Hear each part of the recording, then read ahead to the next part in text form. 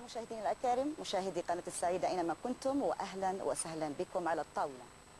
ما بين وحدة وفك ارتباط نظام مركزي أو لا مركزي مد وجزر على مرساك يا وطني خلف الكواليس المغلقة.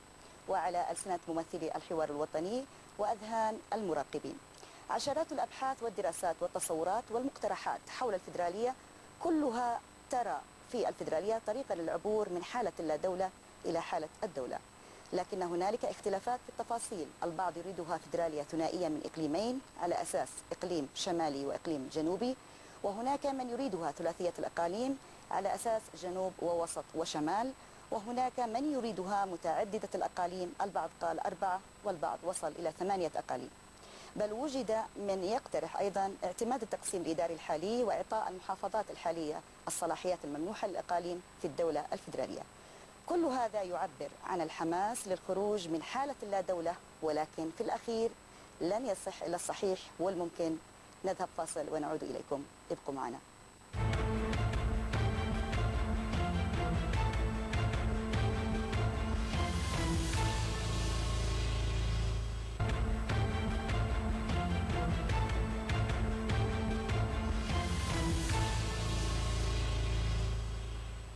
أهلا بكم. لحلقة مشاريع على الطاولة آه، طاولة الحوار الوطني. معي في الاستوديو كل من المهندس بدر بسلمة عضو مؤتمر الحوار الوطني والدكتور جازم الأثوري أستاذ علم الاجتماع عضو مؤسس في منظمة الاتحاد الفيدرالي إف دي. فحيا بكم وأهلا وسهلا بكم مشاهدي آه، آه، ضيوفي الأكارم. حقيقة سنبدأ حلقة هذا اليوم معك أستاذ وأستاذي الفاضل بدر. نريد أن نعرف منك لماذا الآن آه، نرى هنالك من يتبنى من أبناء الجنوب مقترح الفدرالية على أساس التقسيم الثنائي. آه، من وجهة نظرك ما هي المبررات؟ هل هي سياسية أم هنالك مبررات أخرى؟ بسم الله الرحمن الرحيم والصلاة والسلام على سيد المرسلين سيدنا محمد والحمد لله رب العالمين. آه، قبل الإجابة على هذا السؤال أحب أعمل شوية لفة سريعة أساسا لجهود مختلفة كنا قمنا بها كمجموعة. يعني أذكر أن إحنا في بداية عام 2010 كان عملنا دراسة أولية في حوالي شهر ستة. ونشرناها على النت وشغلة وإلى من أجل عمليا وكان عملنا الدراسة هذه بمسمى اليمن على حافة الانهيار. على اعتبار كانت الصورة واضحة في تلك الفترة فعلا أنه إذا لم يتم عمل إجراءات سريعة عاجلة لإنقاذ الوضع أنه فعلا الوضع في تدهور مستمر. وكان المشروع اللي طرح ذيك الأيام من قبلنا كمجموعة كان وك كمركز وهو إنه يجب أن تكون اليمن فعلا على أساس أربع أقاليم في ذيك الأيام في عام 2010 في 6 في نهاية عام 2010 تطور المشروع كان من أربع أقاليم إلى ست أقاليم. في نهاية 2011 وكانت هذه الدراسة موجودة هنا عديناها وقدمتها كان في مؤتمر القاهرة كان اللي تم تنظيمه نعم. تم تقديم المشروع على أساس فيدرالية بإقليمين نعم. والآن نحن بصراحة حتى موضوع الفيدرالية بإقليمين نجد أن في صعوبة في الفترة الراهنة حتى بتنفيذ الفيدرالية بإقليمين الإشكالية اللي نقع نعم. الإشكالية اللي نقع فيها إنه مع الأسف رؤية القادة السياسيين يعني مثلا قضية جنوبية في 2007 كان ممكن حلها بكل بساطة لأن أنت تتكلم عن حقوق وواجبات. ولو كان تم حلها ما وصلنا نهائيا إلى الوضع الراهن. تتفاقم الأمور ومع الأسف القادة السياسيين اللي عندنا لا يدركوا نهائيا أن حلول اليوم لم تعد مناسبة لغد وحلول الأمس لم تعد مناسبة لليوم. نعم. يعني على قولة المثل في علم الإدارة لا تضع يدك أنت في النهر في نفس النهر مرتين لأن النهر جاري في متغيرات كثيرة وإذا لم تضع الحلول اليوم تضيع عليك الفرصة تماميا في معالجة المشكلة بدرجة كاملة نعم. المشكلة ترونها في من بالضبط؟ المشكلة أولا ما هي المشكلة؟ أول مشكلة نراها الجنوب إجمالا يفقد مصداقيته مش مصداقيته هو لكن لا يثق نهائيا بنظام الحكم مطلقا نعم. على سبيل المثال نحن عندما نتكلم الآن أن هناك فعلا ثورة حصلت وفعلا ثورة حصلت في عموم اليمن كاملة لكن هل تغير نظام الحكم في المحافظات الشمالية في مثل صنعي يقول لك ديمة وخلفنا بابها نعم. هو عاملين ماذا عملنا هو رأس سلطة راح لكن جسد النظام كله لا زال قائم نعم. لا زالت الجذور قائمة والبعض يعتقد إنه النظام نفسه أنحنى للعاصفة ولم تقلع جذوره نهائيا ولا زال النظام نفسه بدليل نعم. إنه كثير من المطالب اللي حتى اللجنة الفنية طالبت بها المؤتمر كله اعضاء يطالبوا بها هي في موضوع ال 20 نقطة مثلا نعم.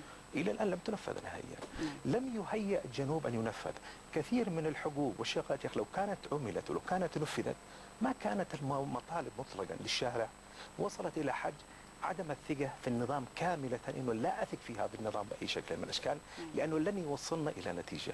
لما نرى مثلا المظالم اللي موجودة في القطاع النفطي كاملة الآن من هي المسؤولة؟ من هي المسيطرة على الشركات النفطية القطاعات؟ لا زالوا نفس النظام نفس موجود. طيب نفس هل تعتقد هذه المشكلة هي مشكلة نظام؟ هل هذه المشكلة هي تقتصر على الجنوب؟ ألا يعاني الشمال أيضا من هذه المشكلة؟ لسبب بسيط.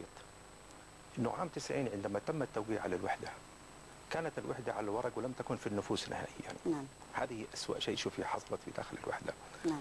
النظام منذ الوحدة إلى الآن لم يستطع نهائيا أن يكسب. هو لما أنا دحين أعتز مثلا بيمنتي أو أنا حضرمي أعتز بحضرميتي أو أنا هو موجود في الوجدان. هي ممارسة هو عمل نعم. هو عدالة.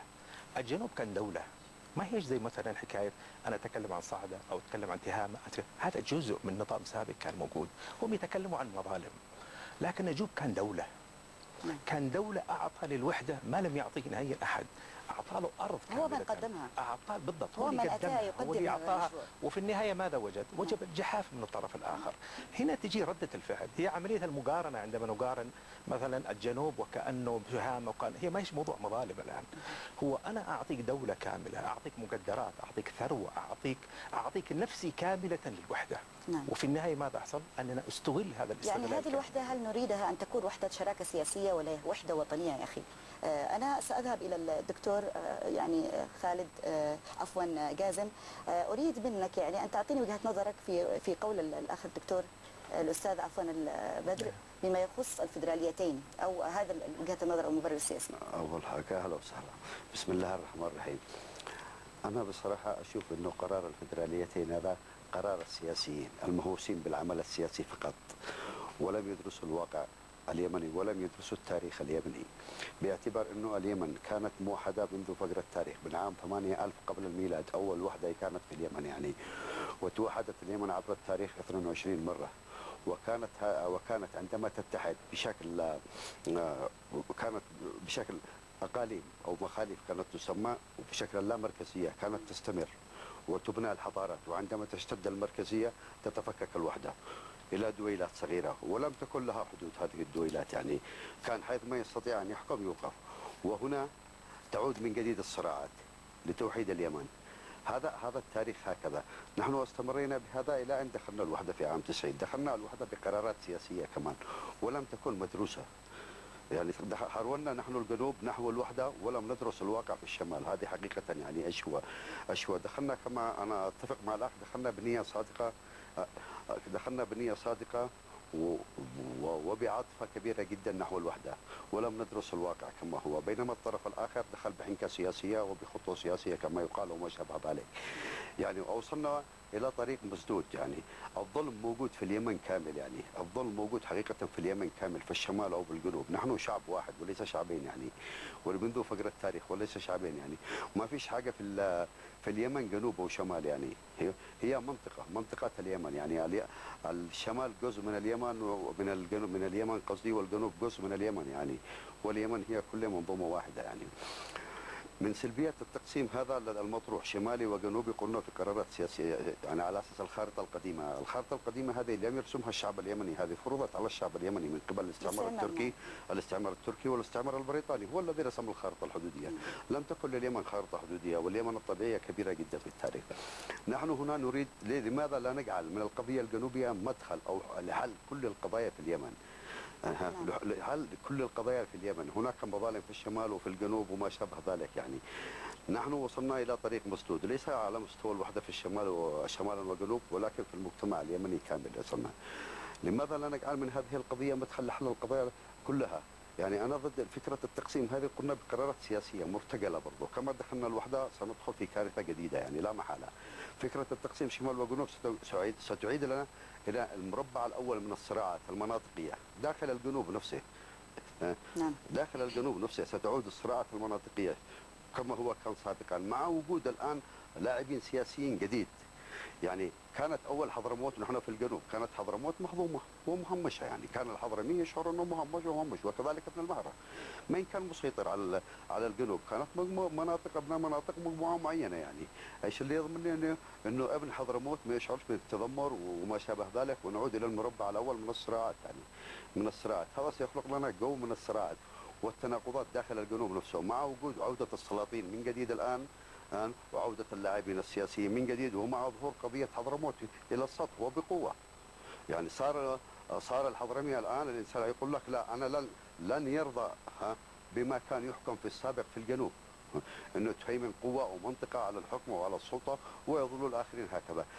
يعني الجنوبي المتذمر الآن من من الشمالي القادم من الشمال الذي يشعر الجنوبي إنه الحضرمي بدرجة أساسية أنه هذا الشمالي هو الذي ينهب ثروتي وهو الذي وذلك لن تتغير هذه النظرة. سيجد سي- ستنظر أنه هكذا أنه في جنوبي كمان آخر هو سيسيطر على كما كان في السابق وسينهبنا. أب- أبن عدن الذي كان يتذمر من العسكري القادم من صنعاء الآن إلى داخل عدن سوف يتذمر من العسكري القادم عليهم من ردفان والضالع والمناطق الأخرى. لن سنرجع إلى مربع العنف من جديد والتجربة خير مثال على ذلك اقرأوا التاريخ يعني.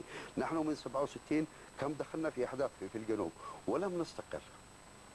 ولم نستقر. لا دخلنا الوحدة ودخلنا في مشاكل ولم نستقر. يعني نحن جربنا حكاية الشطرين هذه في النظامين يعني السابقين. جربنا تجربة شمال وجنوب ولم توجد تنمية حقيقية ولا استقرار لا في الشمال ولا في الجنوب. كنا في دوامة من الصراع سواء كان في الشمال أو في الجنوب. هذه حقيقة. نعم دكتور جازم. آه، أنا بناء على هذا الكلام أريد أن أعرف يعني يقال يعني آه، أو آه، من يعني من المعروف أن لما طرحت يعني فكرة وفكر الارتباط من قبل الحراك الجنوبي كانت السياسة هذه من أجل رفع سقف المطالب حتى ينظر إلى ويؤخذ بعين الاعتبار القضية الجنوبية. أم هي كانت يعني إيمانا بأن ال- الجنوب هو دولة يعني الإيمان بقضية وطن هل الفيدراليتين هي أتت كنوع من يعني آه، آه، يعني البديل لفك الارتباط؟ يعني من أجل أن ننظر إلى مستقبل آه، وطن مثلا فيه نوع من الشراكة ما بين نظامين. ما وجهة نظرك يا أستاذي؟ هي هي ليست بديل هي ليست بديل ولكن وجه هو النقطتين هي أحب أطرحها. نعم.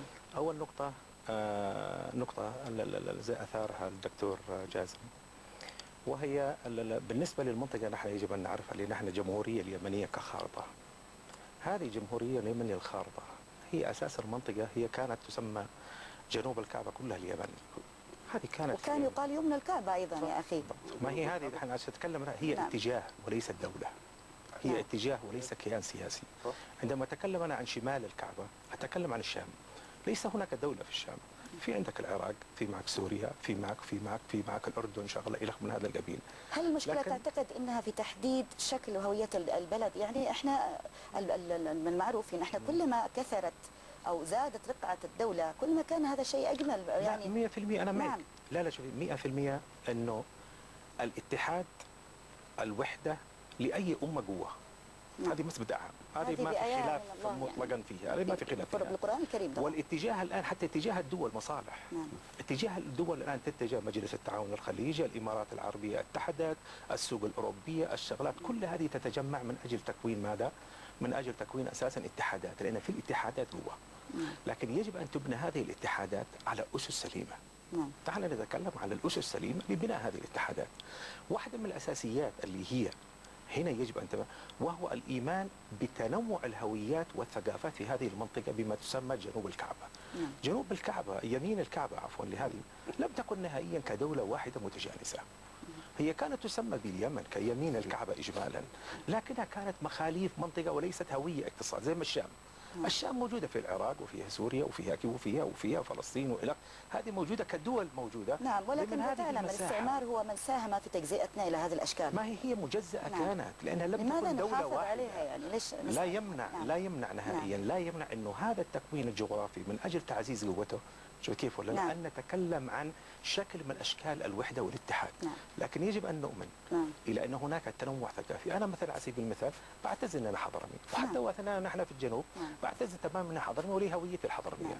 لكن مع الأسف تأتي مثلا من الممارسات اللي تكرر كانت في موضوع الوحدة ما قبل إن لما تجي مثلا م... على سبيل المثال كنا بنعمل مؤتمر في حضرموت قبل فترة وسميناها الهجرة الحضرمية على اعتبار أنه شرق آسيا تتكلم على ثلاثة أرباع مليار مسلم نعم. هي أساسا من الهجرات الحضرمية نعم. اللي كانت. موجودة عملناها الهجرة الحضرمية قالوا ممنوع لازم تسميها الهجرة اليمنية طيب ليش لازم نسميها الهجرة اليمنيه؟ هذه حجر هذه هذا مؤتمر الحضرموت هجرة حضرميه بناء على هذا. القناة عدن الأولى قناة نعم. عدن الموجودة كانت موجودة قناة عدن أقدم قناة تلفزيونية على مستوى الوطن يا أخي العربي الحضارة ما دخل دول. مجلس التعاون الخليجي نص الخير يعني بنوا يعني ساهموا في بناء هو في. شرق آسيا شغله نعم. بس أنا أعتز بهذه هنا تجي قضية الإيمان إنك فعلا أنت حضرمي بناء على هذا الكلام الذي تقوله. الآن. كيف نقبل بعضنا البعض بهوياتنا أنا أسألك الآن كحضرمي نعم. أنا يعني الآن معروف آه، من خلال اطلاعنا على كثير من. المواقع والصحف وكذا الآن في معاك الكثير الآن والتكتلات اللي موجوده الحضرميه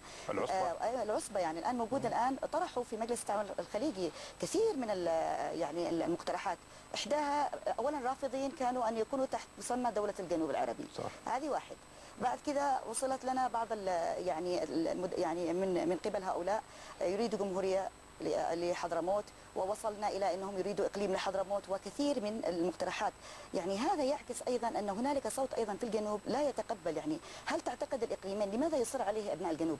لماذا يصروا على فدرالية من إقليمين وبت... هل تضمن يعني ما بيكونش في صراعات بعد كذا؟ هو حتى في صراعات لو حتى على مستوى المحافظات الشمالية هل تضمني لي صراعات مع الحوثي مع الشغلة مع نعم. هذا لا تحدث نعم هذه واقع نعم. المنطقة كلها وهذا منطقي إنه هذا هو يعني المنطقي. اقليمين أيضا لا, لا أعتقد كفدرالية نحن لماذا نريد الفدرالية؟ اريد أن تجيب عن السؤال مم. لماذا اتجهنا إلى الفدرالية؟ هي الإشكالية اللي أعتقد فيها تماما أنه نعم. المرحلة الأولى هناك عدم ثقة كامل من أبناء الجنوب في مصداقية التغيير وفي مصداقية النظام وفي التغيير الحقيقي على مستوى النظام في صنعاء. نعم. هذا هو الواقع اللي موجود. نعم. لأن الإشكالية اللي تقع في المناطق الجنوبية أنه يرى حتى الآن نحن ما نتكلم عن الماضي. نعم. الآن لا زال النهب ساري الآن لا زالت السطوة سارية. نعم. الآن لا زال كيف أستطيع أن أدخل بالحوار معك؟ ولا زالت أراضي منهوبة. كيف أستطيع أن أدخل بالحوار معك ولا زالت القطاعات النفطية كلها تحت سيطرة نفس الأسرة. أتفق معك كيف. كيف إذا كيف تطلب نعم. مني نعم. أننا والله أبصم والله بأربع أقاليم بخمس أقاليم يعني حتى أتهيأ نفسيا أناقشك في موضوع المستقبل وأنا ارى أرى أن كل المقدرات أنت تحت عارف سلطة نفس الصوت يقدمه الآن تهامه نفس الصوت تقدمه صعدة نفس الصوت تقدمه الآن اتهام آه، حقوق اتهام يعني حقوق وليست لا لا. تفرق لا تفرق. إذا ما هو من هو العدو الآن؟ يعني من هو؟ العدو نعم. التغيير الفعلي الحقيقي في النظام. نعم. إذا لم نجتث جذور النظام السابق نعم. كاملة لن يحدث تغيير في اليمن مطلقا وتجزأ اليمن حوليها أربع أقاليم حوليها خمسة أقاليم كل إقليم بيروح بدولة منفصلة. نعم. إذا لم نعمل تغيير حقيقي إذا لم نقضي على الفساد إذا لم نقضي على الظلم إذا لم نقضي على تثبيت مبدأ العدالة على نعم. كل مستوى منطقة ستعود لن لن تشهد اليمن لعلمك أي استقرار هذا واقع هو الموجود الآن مهما تعددت في الأقاليم النقطة الأساسية المصداقية فعلا في الحلول المصداقية فعلا في قضية بتر وعمليا ال- ال- الاجتثاث جذور النظام كاملة وتثبيت مبدأ الدولة المدنية القانون فوق الكل تثبيت العدالة. نعم. إذا استطعنا أن نثبت هذا على الجميع سواسية إذا فعلا نجحنا كل واحد سيكون فخور بغض النظر عن تعدد الأقاليم. نعم دكتور أنا سأذهب إلى الدكتور آه، جازم بما آه، هذه النقطة التي طرحتها. اولا شوية مش أنا كنت أريد أن أكمل يعني أريد أن أعرف شروط يعني نجاح الفدرالية يا دكتور جازم بناء هذا الكلام كيف ستحل الفدرالية القضية الجنوبية؟ والملفات الموجودة الحقوقية آه، إذا اتفق الجميع أنها هي قضايا نعم. حقوقية وليست قضايا محورية أنا أتفق مع المهندس في كثير من القضايا في كثير قضايا. ظلمها الجنوب وأنا واحد من أبناء الجنوب وواحد من من شلوا ممتلكاته وشلوا بيته وشلوا بيته وممتلكاته وواحد من المتقاعدين كمان. أنا أتفق معه في كثير أن القضية الجنوبية لها قضايا حقوقية كانت ومن ثم تصاعدت وهكذا. لكن أنا أريد هنا الآن يكفينا خمسين سنة من الصراع. 50 سنة ونحن نتصارع في اليمن من بعد ثورة 26 سبتمبر حتى الآن. يعني قلنا لم نوجد تنمية حقيقية ولا حاجة. داخلين في صراع وما صراع وما شابه ذلك. من أنت درستي في ماليزيا. ماليزيا من 65 الاستقلال يا أختي من 65 كانت ماليزيا عبارة عن آه، عشاش وحاجات بسيطة جدا بعد الاستقلال. الآن أين ماليزيا يعني؟ خلال 20 سنة. خلال 20 سنة يعني. أين القفز انه أين؟ نحن الآن أنا لو قاعد أعمل لك عمل إحصائي إحصائي بسيط جدا. عدد الشهداء الذين استشهدوا في ثورة 26 سبتمبر وعدد الذين استشهدوا وقتلوا واغتالوا ما بعد ثورة 26 سبتمبر للآن ستجد الفرق كبير جدا وواسع يعني. يمكن أن يكون واحد إلى الألف.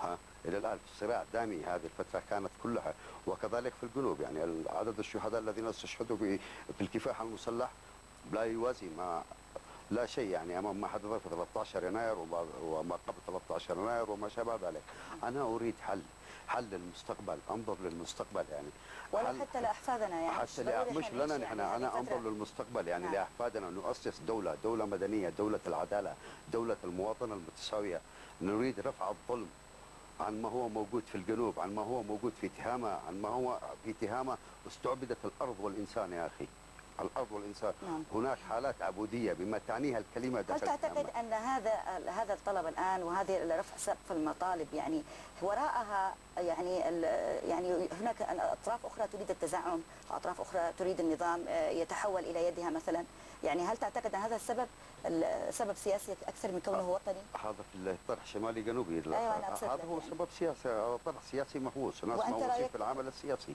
نعم. فقط ولم يدرسوا الواقع كما قلت لك في البداية الحراك الجنوبي أنا بعتبر الحراك الجنوبي كان أول ثوره سلمية في الوطن العربي وليس في تونس كما جرى نعم. الحراك الجنوبي كان أول ثوره سلمية وناضلوا بشكل سلمي وبصدور واجهوا الرصاص عارية مجردين من السلاح. يعني كانت أول تجربة للثورة السلمية في الوطن العربي هو الحراك الجنوبي. هذا حقيقة يعني استمر الحراك الجنوبي يناضل آه، إلى ما لا نهايه نحن نحن بعد 94 كانت مطالبنا بسيطة جدا في الجنوب اللي هو تصحيح مسار الوحدة. نعم. كنا نطالب بتصحيح مسار الوحدة ولكننا صدمنا في واقع كبير جدا وارتفع السقف. من مطالب حقوقية إلى مطالب إلى تصحيح مسار الوحدة إلى ما شابه ذلك. إلى الآن إلى فكر الارتباط. لكن هذه كلها كما قلت لك إنها كلها آه، يعني غير قرارات غير مدروسة يعني. أنا أريد حل دائم. حل حل يجنب هذه الم- المنطقة. الدمار والحروب والتفكك والتشرذم يعني يعني لن تكون الخارطة كما كانت سابقة يعني شمال وجنوب إذا تفكك إذا ستعود الخارطة على اليمن إلى ت- ستتجزأ إلى عدة دول يعني نعم. يعني الجنوب لن يكون جنوب كما كان سابقا يعني الجنوب لن يكون جنوب كما كان سابقا ما رأيك سيتجزأ. بطرح الدكتور سي- سيتجزأ؟ أنا الجنوب. بهذه النقطة يعني لو سيتجزأ الجنوب سيتجزأ الشمال نحن نريد أنا أتفق معه إنه في مظالم وفي نظام وفي نظام وفي نظام لا زال جذوره موجود في الواقع لكن نقول نحن لماذا لا نناضل كلنا؟ سوية شماليين وجنوبيين نكمل يعني صححوا مسار الثورة من أجل بإذن اكتتاب. بقايا هذا النظام يعني لماذا لا نناضل سوية يعني يعني نعم. وصلنا إلى هذه المرحلة وصلنا و يعني أنا ونرجع إلى- تربيت إلى مثلا. طول حياتي في في عدن كنت أبكر من الصباح أقول لنناضل من أجل الدفاع عن الثورة اليمنية وتنفيذ الخطة الخمسية وتحقيق الوحدة اليمنية والوحدة اليمنية هدف نبيل والمقدس لنا طيب. إحنا ناضلنا في الجنوب أكثر من الشمال ضحينا نحو الوحدة اسمح لي يعني. دكتور نريد ان أريد أيضا أن أعرف رأيه الأستاذ بدر إيه، بهذا الكلام. ال- ال- ال- الإشكالية شوفي مثلا في داخل الجنوب هي فعلا هناك صراعات آه، صراعات آه، قيادات جنوبية في داخل الجنوب. هذا واقع موجود ولا أحد ينكره مطلقا. لكن صدقينا لو قلت لك ال- الشارع الجنوبي دحين تجاوز القيادات تماما. نعم. دعيك من علي سالم البيض حيدر شغلة إلخ أشتك أنت بطريقة ما تنزل إلى الجنوب وتدوري فيها. مع الأسف المواطن الجنوبي أصبح يعني كاره مسألة كلمة وحدة كاره شغلة. يعني من ممارساته مع الأسف أنه ممارسات ما قبل ما بعد 94 كرهته حاجة بيسموها وحدة مع أنها كلمة وحدة هي مبدأ سامي ما حد ينكره نهائيا بأي شكل من الأشكال. لكن هذه الممارسات الآن لما نروح روحي إلى أي مكان دوري. لو عملت استفتاء الآن للشعب دعيك من القيادات السياسية كلها على جنب فتجدي أنه لا يقل عن 90% لا يريد الوحدة مطلقا. نعم. ليش؟ لممارسات من واقع الإنسان البسيط يعيش على ماذا؟ هو يرى أكله شربه شغله إلخ معيشته هويته شغلاته كرامته إلخ هذه الأمور البسيطة لو سلبت منه هذه الأمور البسيطة مقابل إيش؟ عندما تربطها والله أنا عندما دخلت الوحدة كان كذا قبل سلبيات كثيرة كانت موجودة قبل 90 لحد يقول إنه كان قبل 90 آه، عصر ذهبي سلبياتها كبيرة شوف كيف نعم، لا؟ نعم أستاذ. لكن رغم ذلك كانت موجودة في دولة يا أستاذ بدر أنا أريد أن أقول شيئا يعني هل يعني إحنا ننظر إلى دولة ويعني ون- ونجعل القياس على المزاج الشعبي كمتغير، أنت تعرف المتغير التابع هو تابع لمتغير مستقل، فهل من المعقول يعني أنت لما تجي تخوض وتحدد شكل دولة آه، طبعا المتغير هو دائما آه، زي المزاج المزاج الشعبي اليوم كذا وبكرة حيكون مختلف وهو بحسب المظالم اللي بتطلع بحسب أيضا كيف بتحل. لماذا لم أنا بأخذ طبعا منك الإجابة بعد الفاصل. لماذا لا نستفيد من فشل التجارب الموجودة في العالم؟ معك تشيكوسلوفاكيا وأيضا باكستان. انحلت. أيوه انحلت ال- ال- الاتحاداتهم الفدراليه أي اتحاد فدرالي ثنائي الآن نتائج الدراسات والأبحاث تقول فشلت تماما حتى الثلاثية. سأخذ منك الإجابة طبعا بعد هذا الفاصل. فاصل مشاهدينا الأكارم ونعود إليكم. ابقوا معنا.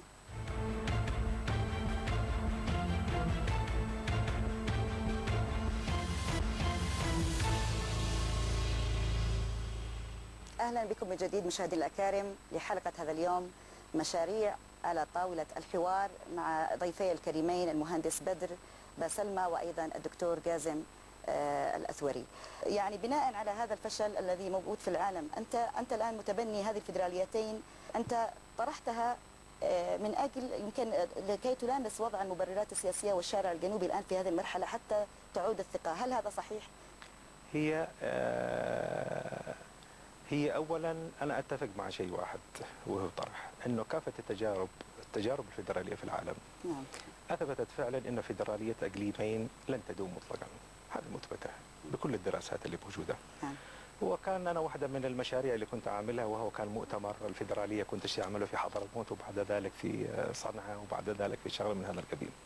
على كل لكن رغم ذلك ومعرفتي أن فدراليه إقليمين لم يكتب لها النجاح في تجارب على المستوى العالمي بما فيها جنوب السودان بما فيها شغلات في كل المجالات لأن بداية فدراليه إقليمين بمعنى بداية انفصال. بشكل أو بآخر. هي شكل من الأشكال هذه. لكن رغم ذلك عند موضوعات الدراسة اللي موجودة زي ما كلمتك أنا من سابق كنت أنا مع موضوع فدراليه أقاليم. نعم. ولكن وجدت إنه المرحلة الراهنة ليس ال- الجري وراء أو محاكاة مزاج الشارع الجنوبي في اي شكل من الأشكال. ولكن يقيني إنه النظام في الشمال لم يتغير. نعم. يجب أن يكون هناك فعلا قوة إذا أردنا أن نكسب الشارع الجنوبي بشكل واضح يجب أن نضغط على تغيير جذري للنظام زي ما اتفقنا عليه ما لم لم يتغير مطلقا هو حيت يعني لابد أن تكون هنالك مرحلة أيضا مرحلة. يعني هذه مرحلة أنا يعني للمرحلة لل- هذه حاجة اعتبرها ما نحن نقول. جذريا هو صعب يعني ما أعتقد أن بهذا أنا ما. اتكلمش أنا بيوم بيوم نعم. ولهذا السبب نحن نتكلم حتى في الدراسة لما تكلمنا على إقليم لم نعم. نطرحها ابدا ألا تعتقد أننا على هذا الطريق الآن في الحوار الوطني، الآن شوف الحوار الوطني ويعني الآن في الكثير ممن تراجع حتى من أبناء الجنوب في آه، من مشاريع فك الارتباط أصبحوا الآن يتحدثوا عن الإقليمين الآن ويعني تم هذا الكلام، وأيضا من قدم الإقليمين الآن بدأوا ينظروا إلى الإقليم الخماسي والسداسي ومنهم من نظر أيضا إلى المحافظات. حتى هل تعتقد. يعني هذه المرحلة الآن في الحوار الوطني ممكن يعني تذيب هذه ال- ليست في الحوار يعني الوطني. نعم الم... لا- لا- لا. ما يذيب فعلا قناعات الجنوبيين في نعم. موضوع كان في الارتباط أو في الإقليمين هو ما يحدث فعلا على أرض الواقع خارج قاعة المؤتمر. الآن الرئيس عبد الرب منصور هادي مشكل لجان على أساس تحل هذه القضايا. الرئيس عبد الرب منصور مشكل لجان لحل القضايا وهذه تشيلها سنين. الرئيس عبد الرب منصور كان أمامه قرارات 20 نقطة كان ممكن يصدر بها قرارات أغلبها ويطمئن الشعب هذا الجنوبي إلى أنه فعلا هناك في الآن قرارات جادة ممكن تتخذ. الرئيس عبد ربه تركته كبيرة وهذا معروف ما هيش طيب، ببساطة اللي نعم، نحن نتصورها. نعم، نعم. كيف لا ويحتاج لكن الناس يحتاجوا إلى مؤشرات أنه هناك جدية. طيب لماذا لا نصحح مسار الثورة بدل ما نسعى إلى فك الارتباط؟ ما لماذا لا نكمل مشوار الثورة؟ ولهذا السبب ولهذا السبب هو حتى دحين الكثير يقول لك نحن الثورة، فعلا هناك ثورة حصلت. يقدم مشروع ما بعد الثورة ويتم تصحيح المسار. الآن في. مظلة دولية الآن من ظلة ولهذا وعدم لنتيجة لعدم ثقة الجنوبيين نعم. أساسا. في إمكانية تعرف الإشكالية أساسا هي بدأت مباشرة مع عملية الثورة نفسها في حدوث الثورة نفسها. الثورة فعلا حدثت وفي شهداء وفي وفي لا ينكر لا يمكن أحد أن ينكرها مطلقا. لكن عندما نرى أنه أعمدة النظام السابقة هم نفسهم الآن حامين الثورة. عليهم أن يتأكدوا أن أبناء الشمال بيكونوا مع الجنوب وسأعود إليك آه، لأنه المخرج لن سوف يتحكم في إدارة الوقت للأسف. دكتور جازم حقيقة أنت من ال- الآن من المؤسسين لمنظمة الاتحاد الفيدرالي الديمقراطي في مرحلة التأسيس الآن باسم إف دي.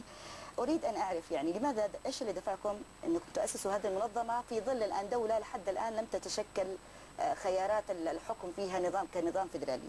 آه، هذه آه، هذا واحد. والآخر آه، وضح لنا ما هو المشروع التي قدمتوه. نريد أن تشرح لنا ما هي المعايير عليها نحن في بداية الأمر بدأنا نفكر في الفيدرالية كمخرج لحل القضايا اليمنية كلها يعني نحن كما قلت لك يعني أنه التاريخ درسنا قرانا في- التاريخ كويس ووجدنا كيف كانت تحكم اليمن في التاريخ عندما كانت تحكم بطريقة مركزية كانت تتفكك وتشرذم نعم. وعندما كانت تحكم بطريقة لا مركزية وسع الصلاحيات كانت تستمر طويلا أتمنى أن أسمع صوت عالي. تستمر تستمر تست... كا- كانت في تستمر. الجنوب وفي الشمال. في الجنوب وفي الشمال ليس كانت تستمر في. كانت تستمر هي كانت منطقة واحدة كما. كانت تستمر طويلا. آه، معظم الحضارات اليمنية حتى بناء سد سد مارب حينها عندما هنا كانت اليمن في الدولة تحكم بشكل قليل من لا مركزية. واستمر هذا الحكم حتى في عصر الدولة الإسلامية. كانت تحكم اليمن في آه، بشكل مخاليف يعني بخمسة بخمسة مخاليف ثلاثة مخاليف وما شابه. واستمرت إلى اليمن موحدة نعم، إلى حكاية موحدة فترة طويلة هذه فيها نظر. إحنا خلاص يكفي كانت تتفك كانت تتفكك الدول جازم. تعود هي وتعود منطقة صراعات هي قبائل هي جازم أرجوك يعني إحنا إحنا خلاص آه، يعني أعطينا الموضوع مما يستحق. أريد أن تجاوب مباشرة على السؤال هذا. المنظمة لماذا أسست؟ وما هو مشروعك؟ ناقشني الآن؟ نريد أن نستعرض المشروع. أسست المنظمة كمساهمة منك يعني الكثير من الشعب اليمني هنا كان حتى مثقف هنا لا يعرف إيش معنات فيدرالية يعني كان لما نيجي نتكلم نقول فيدرالية آه، آه، يفتكر أنه سنقسم اليمن إلى دويلات. مما دفعنا إلى تأسيس هذه المنظمة. الهدف منها أن توعية الناس بما تعني الفيدرالية ما هي الفيدرالية؟ مميزات الفيدرالية إيجابيات الفيدرالية. وما شابه ذلك خلقنا نوع من الوعي بشكل نعم. خلال السنتين هذه لدى الناس لدى الناس بمفاهيم جديدة و- وبدأت الناس تتقبل وتفهم ما هي الفيدرالية. نعم. وبالدليل برنامجنا هذا اللي على الطاولة الآن. يعني هذا جزء كان من نضالنا ونشاطنا. يعني وقدمنا عدة مشاريع. والآن نحن في طريق تأسيس م- المنظمة في الأسابيع القادمة. سنعمل ورشة عمل سندرس. كثير من المشاريع المقدمة. طيب آه، سؤالي هو هل سيتحول أو عندكم توجه مثلا أن تحولوا هذه المنظمة أو أن توجدوا مثلا تكتل سياسي أو حزب بعد كذا إذا إذا توجدت الأكاديميين والشخصيات التي إذا يعني البلد أيضا تحولت إلى آه، بلد اتحادي. إن شاء الله يعني. وليش لا يمنع يعني. إن شاء الله لا يمنع ذلك يعني. طيب ما هو المشروع اللي مقدم من قبلكم يعني؟ نحن مشروع مقدمين لماذا الخماسي؟ لماذا الخماسي؟ الخماسي ومنطقة اقتصادية يعني. هو خماسي ومنطقة اقتصادية. نعم. يعني نحن درسنا الواقع اليمني في عاداته وتركيباته.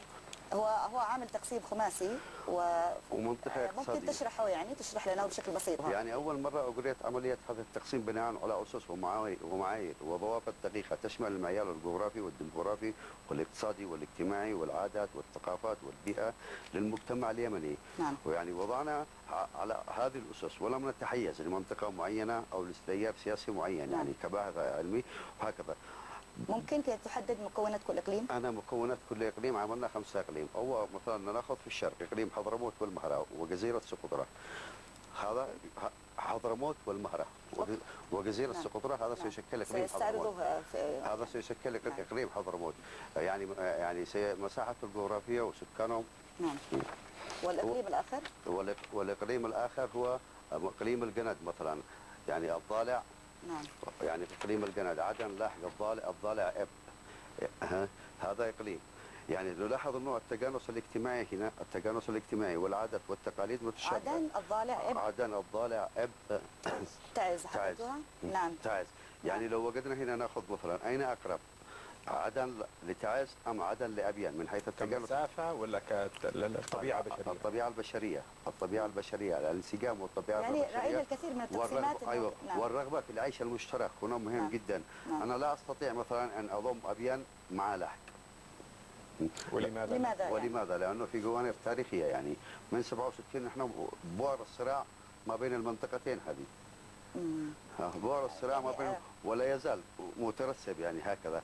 ولا يوجد انسجام هنا في العادات والتقاليد والثقافة. هنا ستكون أبين أقرب إلى البيضة منها إلى عدن طيب آه، إلى شبوة أك- أكمل لنا تقسيمك ال- الإقاليم أيضا قلت آه، هذا الإقليم ال- الوسطي أو الجنوبي. يعني باقي إيش معك؟ من- إقليم آه، نعم. إقليم إقليم سبا يعني شبوة وأبيان والبيضاء ومارب نعم.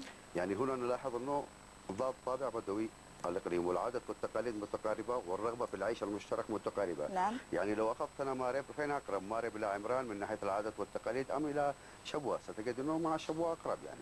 نعم. من حيث العادات والتقاليد والت- وهكذا.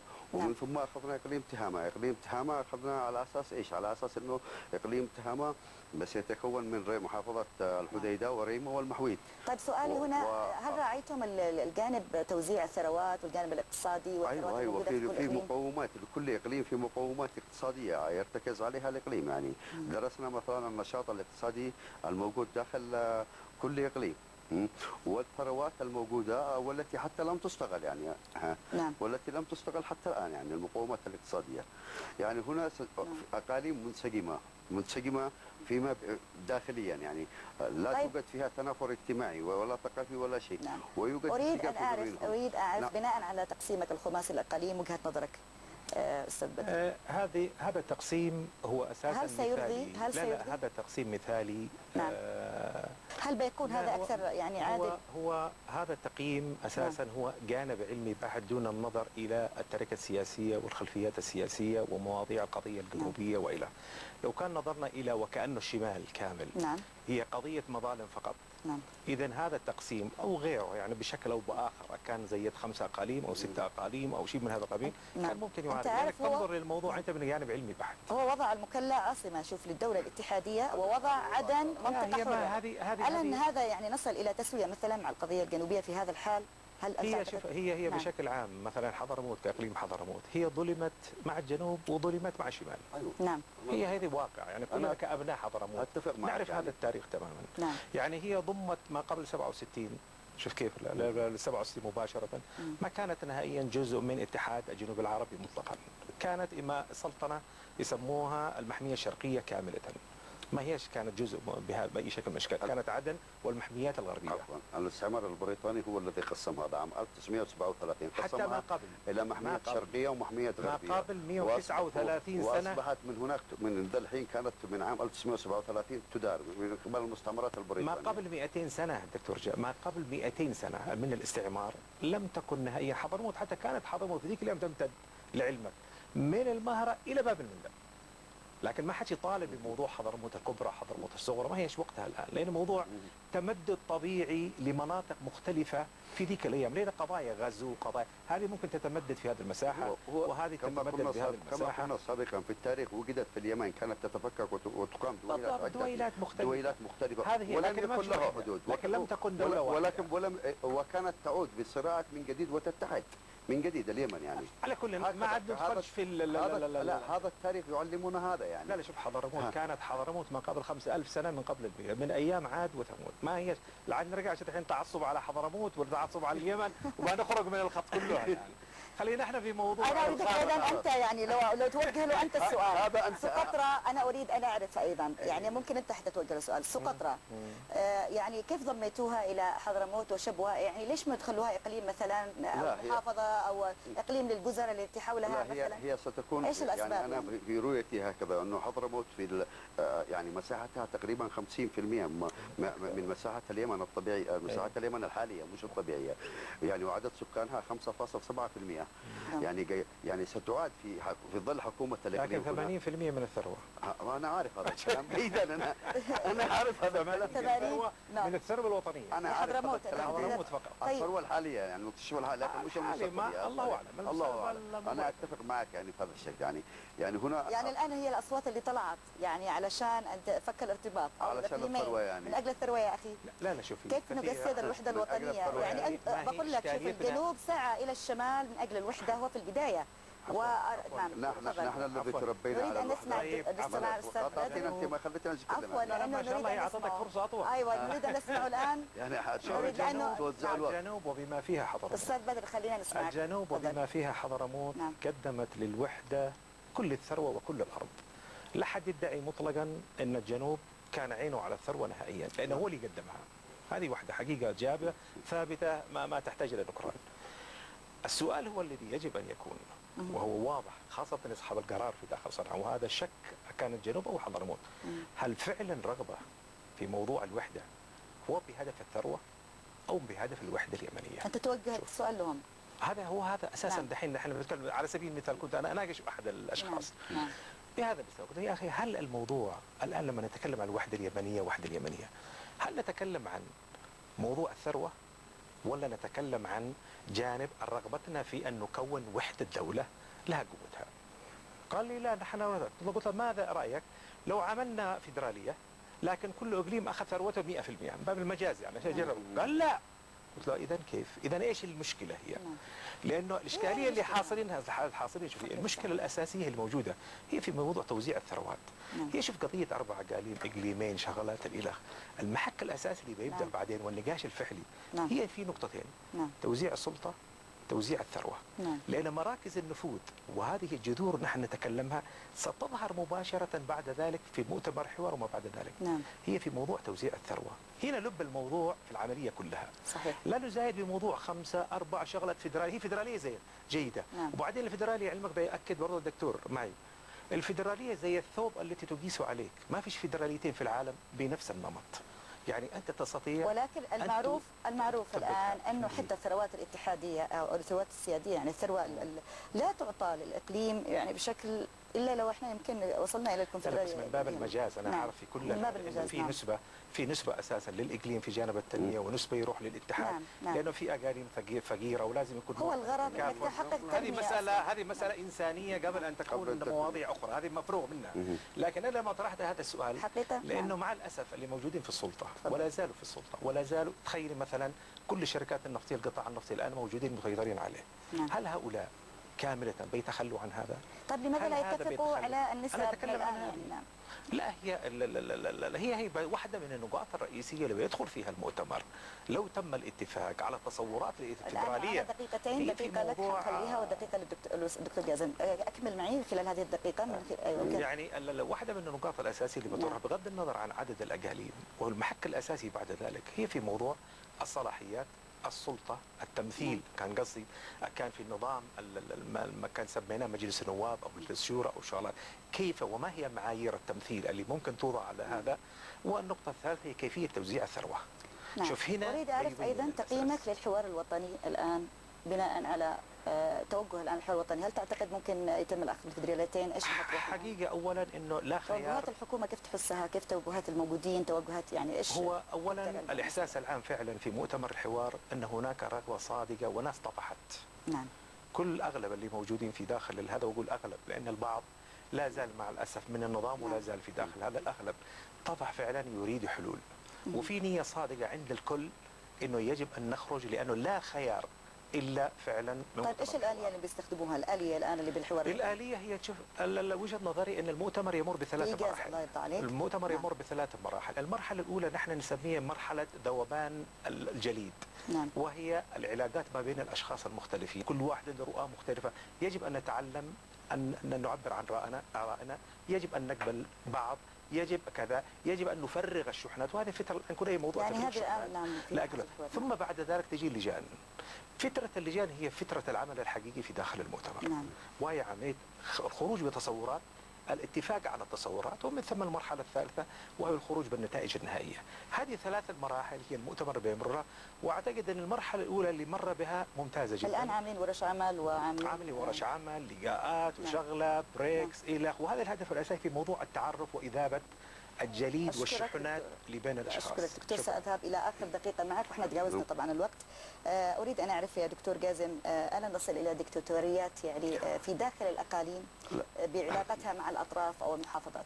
لا لن نصل. وبإيجاز معك دقيقة. لا لن نصل إلى ذلك لأنه نحن ص- أنا من وجهه نظري أنه سنطبق الحكم المحلي الواسع الصلاحيات داخل الأقاليم نفسه. سنعطي المحافظات حكم واسع الصلاحيات. لن نخلق دكتاتورية جديدة داخل شيء واسع كامل. نتكلم عن نظام فدرالي. النظام أنا آه ما عاد شيء أنا واسع. ده كامل صلاحيه هو في الإقليم هو يتحدث عن لأن كلمة داخل واسع. مطاط لا. داخل نعم. الإقليم يا يا أستاذ اشترط الإقليم إيش في داخل الإقليم في داخل يعني الإقليم. الإقليم فيدرالي وداخل الإقليم. الإقليم ما بين الإقليم والمحاولات مثلا والولايات نعم. يعني النظام سيكون فيدرالي نعم. في عواصم في نص داخلية. دستوري يستمد. قوته من. الدستور يعني وهذا لا جدل فيه لكن هناك من أجل لا أخلق دكتاتورية داخل الاقاليم تظل مسيطره من دكتاتور وهذه خمسة دكتاتورية س- من ضمن المشروع ستعطى يعني حكم محلي واسع الصلاحيات داخل كل إقليم يعني متحسسين من كلمة واسع صلاحيات لأن تجاربنا في السلطة ما هذا هذا هذه كلمة واسع يلغوا بعض هذا هذا. هذا داخل الإقليم داخل كل إقليم. كل إقليم بيتكون من عدد من المحافظات. ما يطبق ما بين الإقليم والمركز هو اللي بيطبق ما بين الإقليم والولاية. هو اللي بيطبق ما بين الولاية وما أدنى. لا ما أعتقدش يعني أنا لا يمكن أعمل لك في داخل الإقليم كل ولاية أو كل محافظة حكومة وكل لا لا مش حكومة. أنا. أتكلم عن الصلاحيات أنا على الصلاحية أنا. أتكلم لك. هذا هنا يسمى الصلاحية. هذا هنا يسمى حكم محلي واسع الصلاحيات كل يعني حال واسع دكتور جازم أشكركم حقيقة في وصلنا إلى ختام هذه الحلقة. فشكرا جزيلا لكم. نصل بكم إلى ختام هذه الحلقة. مشاهدي الأكارم آه، ترقبونا كل يوم ثلاثاء على الطاولة في حلقات قادمة. آه، آه، أكثر آه، تفصيلا وعمقا. ونراكم بأمان الله. إلى اللقاء.